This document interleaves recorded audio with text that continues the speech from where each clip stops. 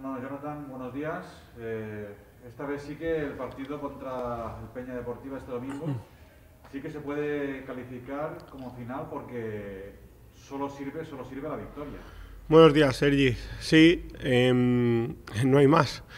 Es ganar o, estamos fuera. Em, realmente el vestuario lo sabe, lo, somos conscientes de la situación, de, todo, eh, y también somos conscientes de que mm, nosotros pues intentaremos salir al terreno de juego como siempre a, conseguir la victoria. El hecho de que el Peña Deportiva vaya primero se pueda permitir incluso un, empate y el Hospital sirva la victoria, ¿se arriesgará más de la cuenta o el planteamiento va a ser bueno, eh, siempre ofensivo como todo el año, pero no arriesgamos tanto? No, nosotros eh, intentaremos em, ser fieles a nosotros, hacer lo mismo que, que hemos hecho los ocho últimos partidos en casa. Em, si te pones a pensar, y le hemos dado muchas vueltas, em, de los ocho últimos partidos en casa, el Hospitaleta ha ganado solo un partido, ¿no? Ha ganado un partido, ha perdido dos, perdón, ha ganado un partido, ha empatado dos y ha perdido cinco, ¿no? Pero quizá menos el día del Badalona, que la derrota, bajo mi punto de vista, fue justa. El resto de los partidos que el Hospitalet o los otros siete partidos que no ha ganado de local, eh, o seis, porque el día del Orihuela sí que ganó, es que no merece perder ninguno de ellos. Es que pierde con el Andorra aquí en el último minuto un partido que no merece perder, empata con el Llagostera un partido que merece ganar claramente, empata con el Nastic un partido que merece ganar claramente, que en el último segundo Pablo Aguilera tiene un mano a mano en el área pequeña. Pierde con el Prat un partido que es para ganarlo 3-0 eh, fácil y se nos escapa. Pierde un partido con el Cornellá después de ir ganando 2-0 y después de incluso hasta que te remonten el 2-2. Tenemos el 3-2 que a Diego le sacan el balón en la línea en los instantes eh, finales. Pierde con el Acheneta un partido que fallamos cuatro ocasiones claras de gol e incluso fallamos un, un penalti. Entonces, al final estamos hablando que los ocho últimos partidos en casa el equipo ha ganado una victoria o ha sacado una victoria, pero tanto por ocasiones como por juego, el equipo ha merecido mínimo ganar cinco o seis partidos de, esos ocho, ¿no? Entonces, eh, seguiremos insistiendo y esperemos, pues, el domingo poder conseguir la victoria. Eh, haciendo lo mismo que hemos hecho durante toda la temporada, eh, sobre todo, vuelvo a repetir, de local, donde desde hace ocho partidos, cada partido exceptuando el día del Badalona, vuelvo a repetir, el equipo ha sido superior al rival, tanto en juego como en ocasiones, pero no ha sacado eh, los tres puntos. Eh, incluso ha perdido cinco y ha, empatado dos, ¿no? Pero si tú repites esos eh, ocho partidos, uno no tiene indicativos para cambiar más allá de esa solidez defensiva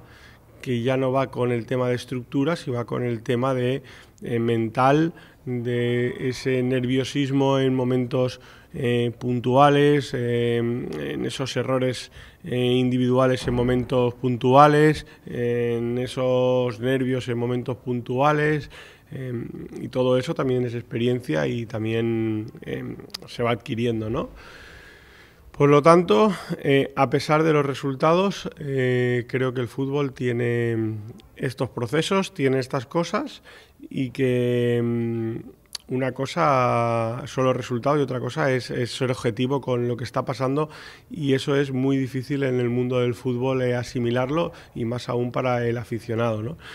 lo que sí que está mm, claro por encima de todo y vuelvo a repetir, es que en los ocho últimos partidos en casa yo he visto un equipo em, con muchísima implicación, que no da un balón por perdido y con, y con muchísimas ganas de llevarse los tres puntos y un equipo que lo ha dado todo en el terreno de juego. Vuelvo a repetir, em, día de Llagostera, a pesar de, de todo lo que llegan dos veces, te marcan dos goles y el equipo sigue luchando. Día de la Cheneta igual, día del Prat igual, diga del Cornellá, a pesar de que te levantan un 2-0, sigues luchando y casi te lo llevas al final eh, con el, con el 3-2, etcétera, etcétera, ¿no? El día de, los empates, pues, pues lo mismo. El día del Orihuela hicimos un gran partido eh, aquí, pero lo que no puede ser es em, bajar los brazos como hemos hecho en alguna ocasión fuera de casa, eh, mentalmente venirnos abajo como por ejemplo pudo suceder la semana pasada cuando nos marcan el 2-2, eh, prácticamente minuto 2 de la segunda parte, y entramos 14 minutos en trance donde parecemos almas en pena por un campo de fútbol y el rival te arrolla y te, atropella y te marca cinco goles. ¿no? Yo creo que jugadores profesionales eh, mentalmente deben de ser fuertes y saber eh, que a pesar de recibir eh, un gol del rival, pues no te puedes venir abajo. Pero ya te digo, esto que sí que ha pasado durante diferentes momentos de la temporada o en diferentes partidos, siempre con un denominador común que fuera de casa, ¿no? Pero en casa el equipo creo que ha sido durante todo el año muy regular, pese a que los últimos ocho partidos, o sea, todos los de la segunda vuelta de la primera fase y los dos que llevamos de esta segunda fase de local, el equipo ha sido superior al rival, ya vuelvo a repetir, en juego, en ocasiones, en todo, y han pasado cosas y situaciones que, que son muy difíciles de explicar em, em, o, racionalmente, ¿no? Em, y al final eso es una realidad.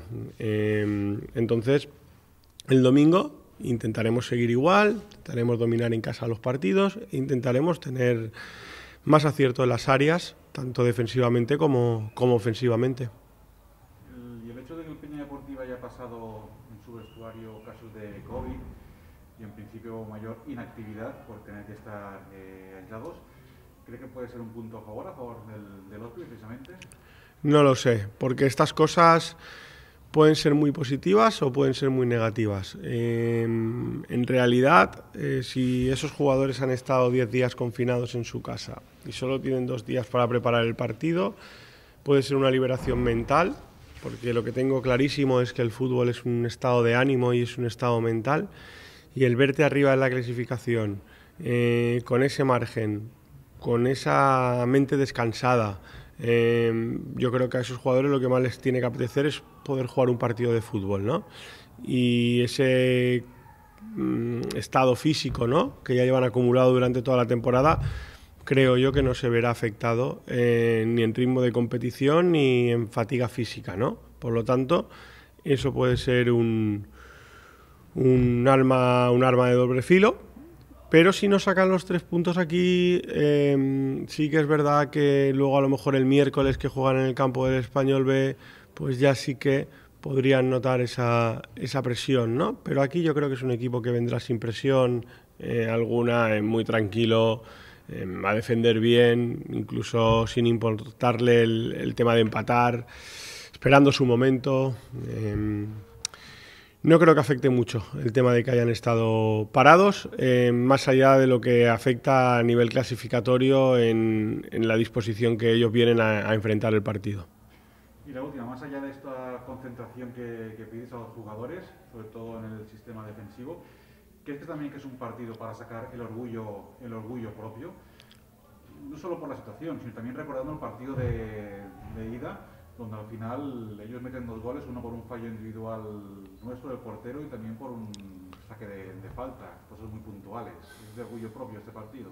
nosotros em, lo que pensamos es que hay que ser realistas, ¿no? Y yo al vestuario desde el lunes em, le he dicho la realidad, digo, em, la esperanza es lo último que se pierde y el honor y el orgullo es lo último que, que un futbolista debe de, o lo primero que debe de tener. ¿no? Eh, lo que no puede ser es que dejemos de creer. Eh, la situación en la que es, el equipo 90%, 92% a fecha de hoy eh, tiene esas posibilidades de descender.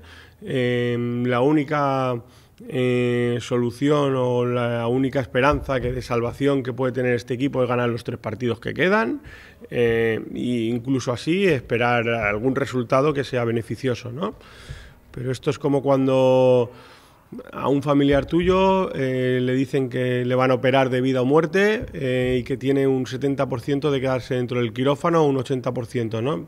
Al final tú siempre estás en el pasillo eh, con esa fe y creyendo que todo va a salir bien y, y, creyendo, ¿no? Al máximo en eso, ¿no? Pues no coges y te vienes abajo y dices se va a quedar en el quirófano, es imposible que salga, ¿no? Pues esa es la mentalidad que que el jugador tiene que tener. El jugador tiene que tener la mentalidad de salir al terreno de jugarlo todo, ya no solo por, por el equipo, que, que, eso está por encima de todo, ya no por la institución, que está por encima de todo, ya no por los aficionados, que está por encima de todo, y ya no por la junta directiva con el esfuerzo que hace eh, día tras día, que está por encima de todo, pero también por el amor propio de ellos y por el beneficio de ellos de que estamos en una situación donde también ellos tienen que hacer buenos partidos para el año que viene poder tener esas posibilidades de poder eh, continuar compitiendo en una categoría como la que están ahora y que puedan estar en el mercado en equipos eh, que se hagan decidirse por ellos viéndolos jugar en estos últimos partidos, ¿no?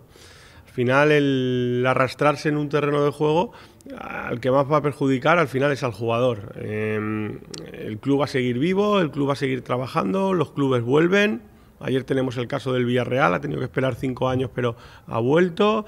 Las personas pasan, pero el club siempre, siempre sigue, ¿no? Pero em, si tú te dejas llevar, al final, pues la demás gente lo ve y, al final el propio perjudicado es el jugador. Em, el jugador tiene que darlo todo, tiene que creer hasta el final, pero tiene que ser consciente de la situación.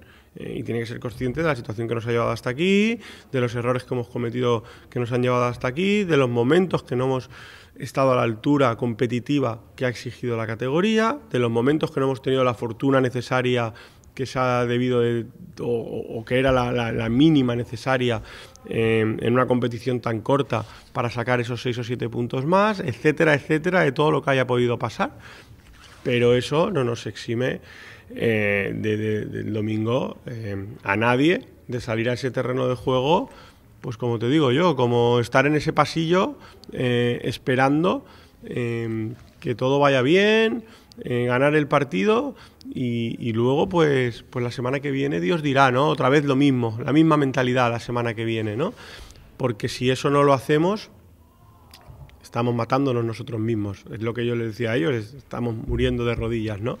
y creo que si algo hay en la vida es, morir de pie y no, y, no morir de rodillas. Si tenemos que descender en los tres partidos que queda, que sea porque nos descienden los rivales por las cosas que han pasado anteriormente, pero no porque nosotros eh, perdamos nuestro partido y nos descendamos nosotros, nosotros mismos, ¿no? Y eso, eso es referente a tu pregunta, eh, el orgullo que hay que jugar este domingo yo creo que es, si cabe aún más, más grande que ningún partido durante toda la temporada porque precisamente es el día que más se necesita porque si no lo sacas y si no ganas, se acaba todo. Entonces, en los momentos límites donde uno tiene que sacar lo máximo de sí mismo. Perfecto. Gracias, mister. Vale.